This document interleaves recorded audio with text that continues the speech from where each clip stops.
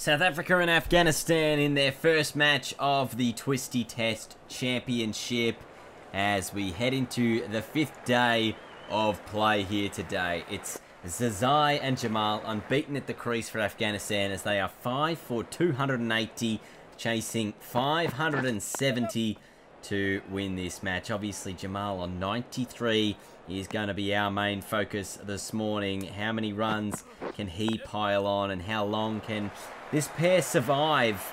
It's going to be absolutely massive and imperative that they do if Afghanistan are going to either win the game or hold on for a draw. And oh, we've seen a run out early on on day five. This is absolutely devastating. I mean, it's it's been referred to the third umpire, but it, gee, it, the fact that it got this close is not looking good. And it is going to be given. So, Nasir Jamal run out for 95 by Temba Bavuma. 284 for 6. And that could be the one wicket that just breaks the back of the Afghanistan batsmen. South Africa require a further four wickets for victory. It's Rashid Khan out there at the moment. We know he's he's exciting with the bat, but this is a bit of a different circumstance for him. He's going to have to bat out a long period of time if there any chance at holding on for a draw. There's an edge and taken. And the other set batsman's as I go. So day five started perfectly for the South Africans. Two early wickets. The two set batsmen dismissed. And they need just a further three wickets to get their first victory of this Test Championship and put themselves in a good position moving forward. Usman Shinwari to the crease. Dane Paterson doing a nice job. Oh, that's a swing and a miss. Just beating the outside edge there. Oh, this time he's got a little bit onto the pad and the man at short legs taking it. Jeez, he's a big boy at short leg. Absolute massive unit. There's just a fraction of an inside edge there and it goes onto the pad. And the catch is taken. And all of a sudden, it's all falling apart for Afghanistan. They're eight wickets down. South Africa two wickets from victory. Aiden Markram with a good catch in there.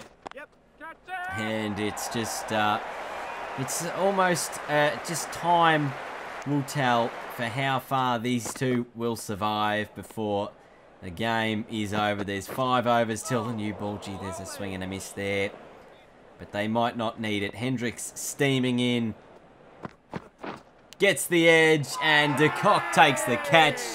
They're one wicket closer and just one wicket away from getting their first win of this tournament.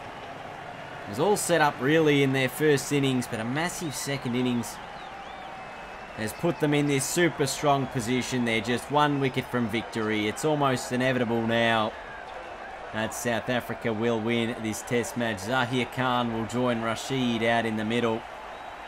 And there's just one wicket to go for the South Africans. Can Hendricks get it on this next delivery? No, he lets it through to the keeper. Oh, and even Rabada's bowling nicely here. They're just one wicket away. I wonder if Rashid Khan will pull out a few shots to Rabada. There's nine deliveries till the second new ball. Oh, it's short, and he's taking it on, Rashid. He's happy to do that, get himself the single. Oh, they want two. Gee, that could be a run out as well. Oh, they're going up for it, and if this is the way the innings ends, it basically will sum up how Afghanistan have played this game. Really poor running between the wickets, and this one looks like it's going to be out as well. Rabada had all the time in the world to take the bails off. And at the end of it all, South Africa with a massive 264 run victory. It was a pretty quick day five. It didn't take them too long. They got it all done in about 12 overs, I think. Getting those wickets very early. Here's the wicket of Shinwari as he just nudged it on to the man at short leg. For the edge by Ahmadzai was taken by the keeper. And finally, Rashid Khan, or Zahir Khan actually, was run out here. And at the end of the day, the end of the match, South Africa win by 264 runs. They get their campaign in this Test Championship off to a flyer. Head the top of Group B, winning the only game so far. But that's it for today. See you next week for the game between Pakistan and England. I'll see you all later. Goodbye.